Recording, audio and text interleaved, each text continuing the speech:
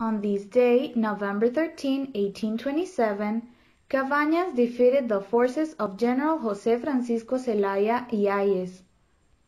He entered the army of the Federal Republic of Central America, where he was lieutenant of General Francisco Morazán and became a general of the Federal Army, gaining political and military leadership, which earned him deputy of the Constituent Assembly of 1830. Cabañas' first military experience was at the battle of La Trinidad on November 11 of the same year.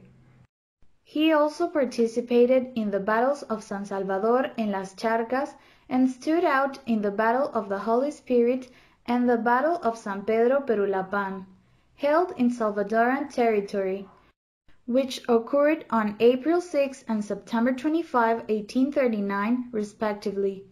On November 13 of this same year, he defeated the forces of General José Francisco Zelaya y Ayes in the battle at the siege of Soledad, near Tegucigalpa, and then was defeated by the same general on January 31, 1840, at Los Llanos del Potrero.